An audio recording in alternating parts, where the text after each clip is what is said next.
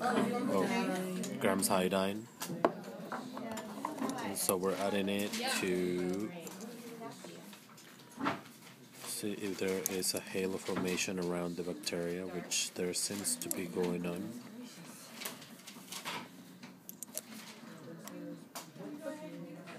Actually, you do the iodine. You can do the iodine first. You put a drop of, a couple of drops of iodine on the back nose. Then that way we can finish up this one and then we can move to the next one.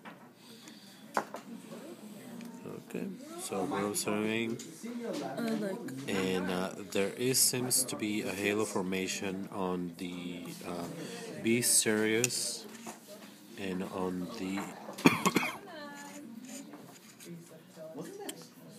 on the cereus and the subtilis, but no halo formation on the E. coli.